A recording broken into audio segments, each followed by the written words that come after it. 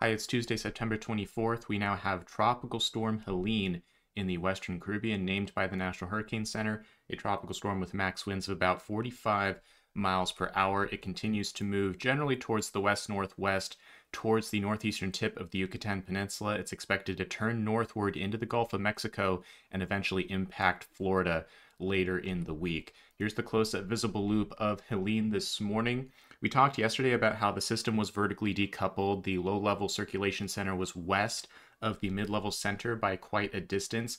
This morning we can still see the low level center. It's right there, although it looks like this may be just one of potentially several vorticity maxima or little mesovortices within the broader pocket of circulation. And the reason I say that is you see this kind of moving toward the southwest. It's a bit of an odd motion. No, the storm is not actually going this direction long term, but what this implies is that this may not be the full focus of the circulation within this broader pocket here and underneath the convection we may be seeing other little vorticity maxima being generated and they may be all rotating kind of around a common center in this area overall so it, with time i would expect either this to turn back toward the west northwest or we get an elongation out towards the northeast side and we have another meso rotate around and the two will likely become better organized closer to the Yucatan channel within the next 24 hours.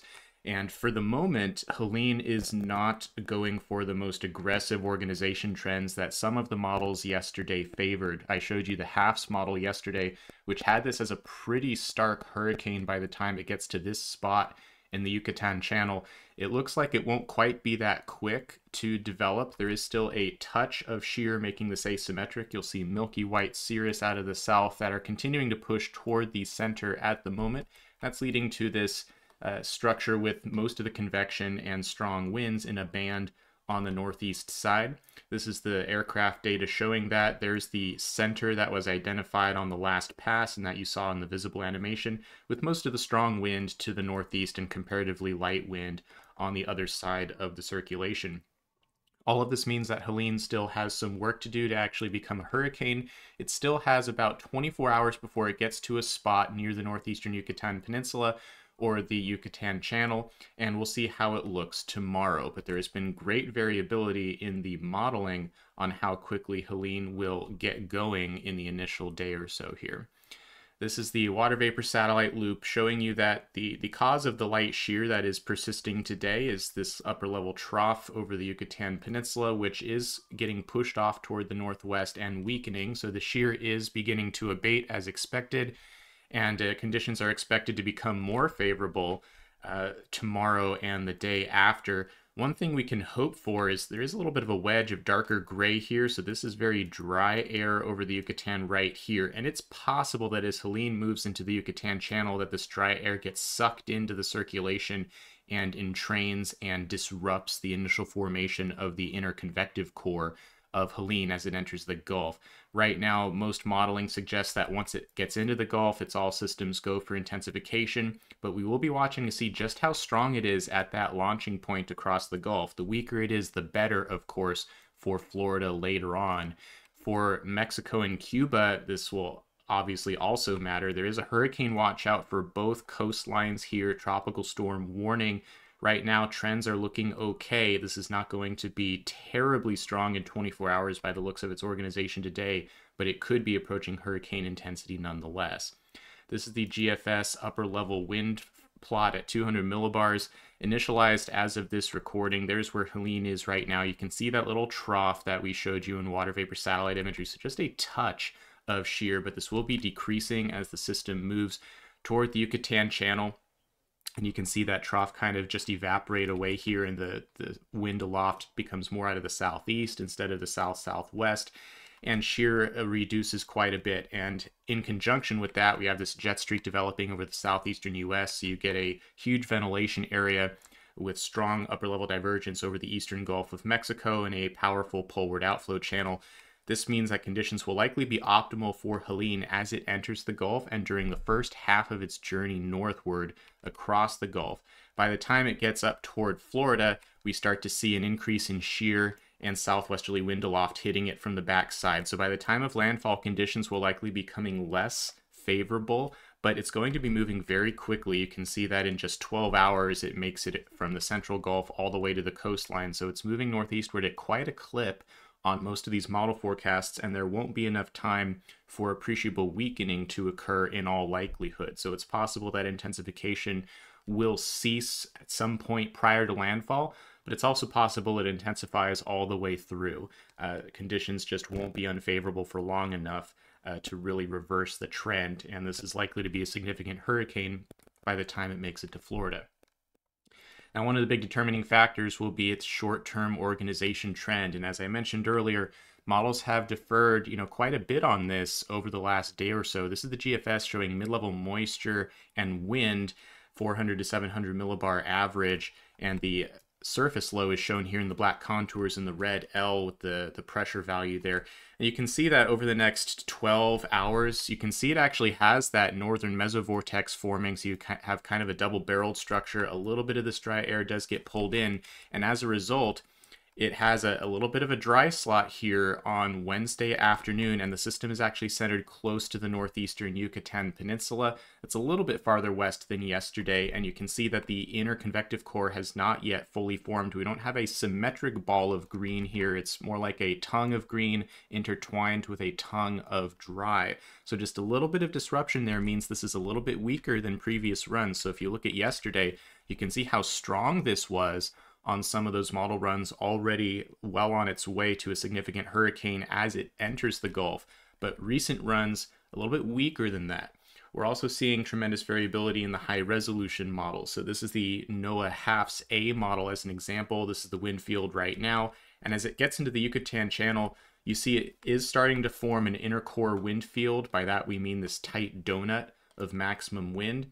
And this is Wednesday uh, morning, late morning it's really changed its tune from run to run. We've had anything from a near major hurricane in the Yucatan Channel to something that's very weak to solutions in the middle over the last 24 hours from this model. So you can see the variability here, and that will matter because the starting point, how strong it is right here, will play a big role in its peak intensity over the Gulf.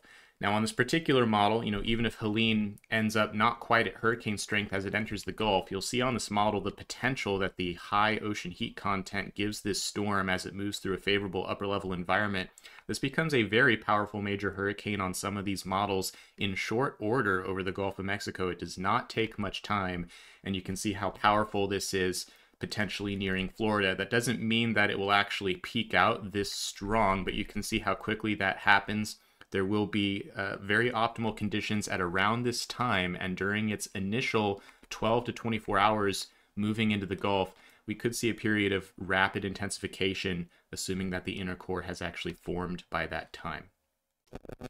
Talking about the track now for a minute, this is the GFS mid-level steering flow plot valid very early Thursday morning. This is where Helene would be just now embarking across the Gulf of Mexico, leaving the Yucatan Peninsula area. And we talked yesterday about how the main steering feature here is this kind of bowling ball cutoff low over the Mississippi Valley and this ridge off of the Carolinas right here. And the lane of flow between them is what's going to guide the storm north-northeastward into Florida. Now, over the last 24 hours, we've seen kind of two different changes in the modeling. One is that this storm ends up closer to the Yucatan than it does to Cuba, so the launching point is farther west over the Gulf.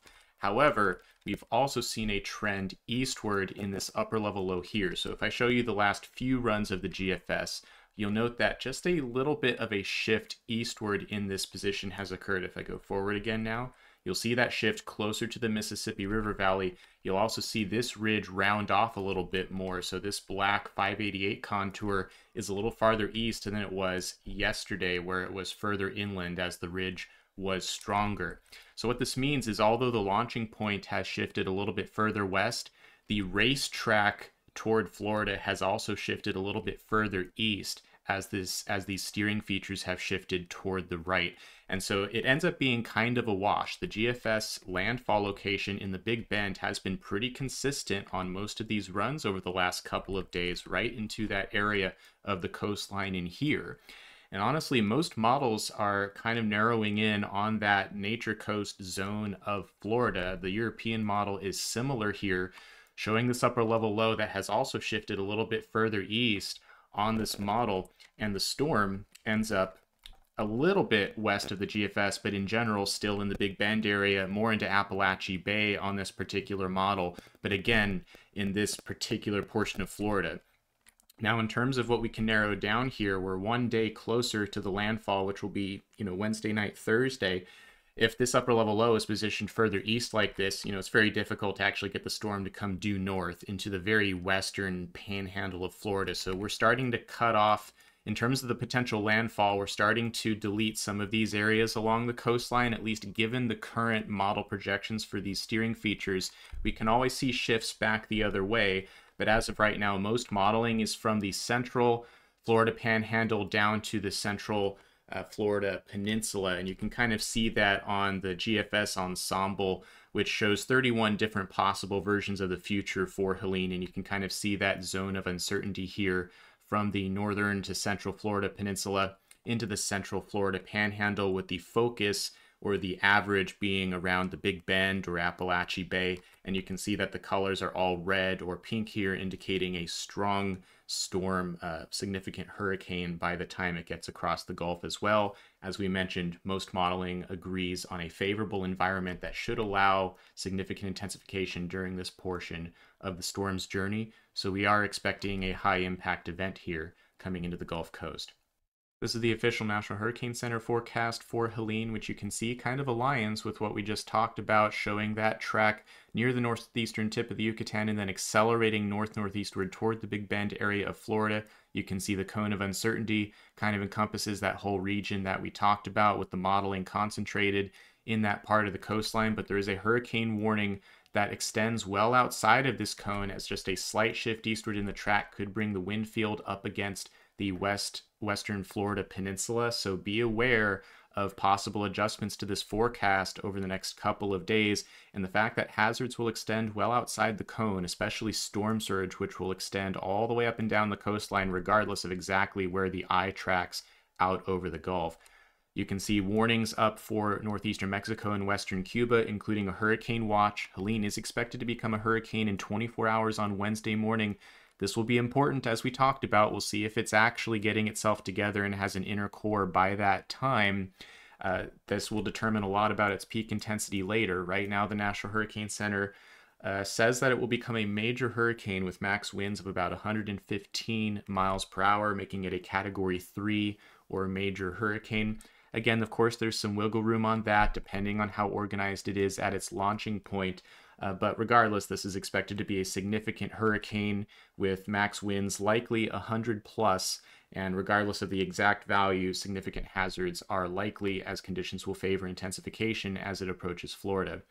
Storm surge, big concern for coastal areas. This is a surge prone area of the Gulf of Mexico, 10 to 15 feet possible in the Big Bend area, so significant danger for those living near the coast in flood or evacuation zones. Please heed those warnings if you are getting them. 5 to 10 feet possible from Apalachicola to Alligator Point and several feet of inundation possible all the way down the western Florida coastline, all the way down to the Keys, where several feet of water rise are still possible as the storm continues to push southerly and southwesterly wind and pushing water toward the coastline, even as the track is likely to the west of the coast there.